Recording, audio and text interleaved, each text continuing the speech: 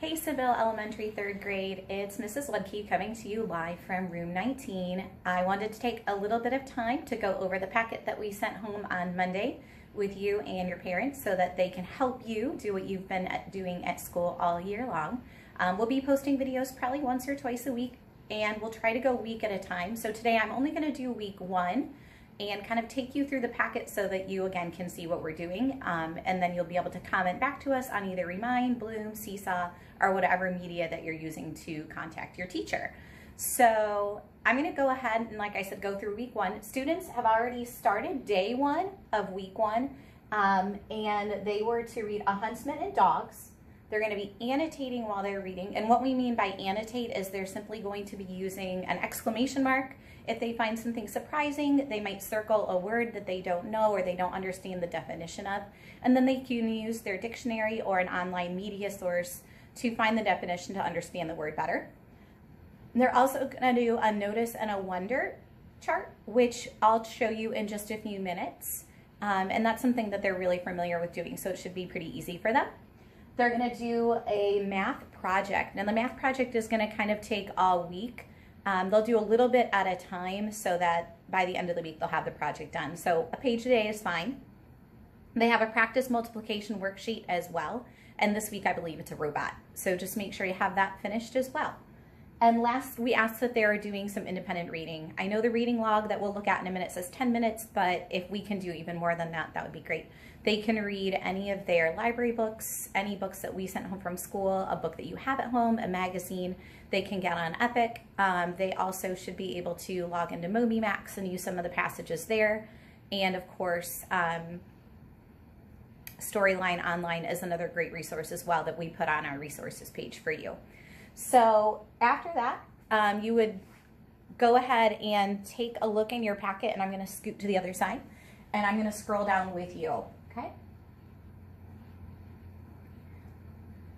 Our second week starts on the next page and we'll go over that later, but you can kind of see how it's all laid out. They'll have reading, math, practice, and independent reading every day, Monday through Friday. And here's that reading log I talked to you about. So if you could put the date in that you read, how many minutes you read, the title that you did, and then have an adult sign it, that would be wonderful. Here are some of our third grade standards and expectations. It's something helpful to kind of look through and we also left some websites for you as well so that if you get stuck and you need something a little extra, then there's an option for you.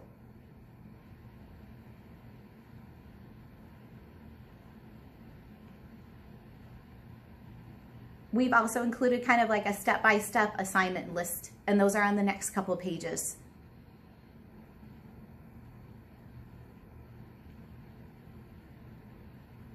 Okay, so here's those notice and wonder pages I was talking about. Each story or each passage that the students will read will have a notice and wonder with it. And all we ask is that they notice something about the illustration that's shown. It can be something simple like I see a man with a dog. And then you might have them wonder, and they might say something like, Why does the man have a dog? And then as you go through the passage, then you're kind of looking to find that answer. We talk about making sure the kids are digging deep and really coming up with a good question to go along with that one, that notice. A wonder is always a question. Each notice and wonder will have the title of the text right above it so that you can kind of keep track of which one goes to which. So you'll see all the notice and wonders for weeks one through three here. Okay. And then all of your week one assignments are going to be in a row. So here's the huntsman and dogs that I was talking about. They would analyze this picture, take a look at it, see what's going on in it, read, annotate, Okay, so those exclamation marks, finding words, putting a question mark, jotting down some notes in the margins, those are all things that we talk about in third grade. the second passage is here, and you'll notice they have another artwork, another short passage, and then the questions are here as well. So the questions are what you'll start seeing pop up on like day two. We ask that the kids look through the passage to find the answers, maybe underlining them when they do, And when they write the answers in the spaces provided, make sure they're written in a complete sentence with good spelling, capitalization, and punctuation. And all the questions are here for each passage. So you'll just have to watch to see that you're answering the questions that were assigned for the day. And that'll be on that first assignment page. Here's a view of the math project. This is the first one that the kids are working on. So you'll see it's a little story. They'll read through. They have a multiplication chart to work with. Some information at the bottom that they'll need. And then that next page, they're really gonna start kind of figuring out how many of each item that um, the cowboys in this story, the movie producers need. And their answers can go in the blanks.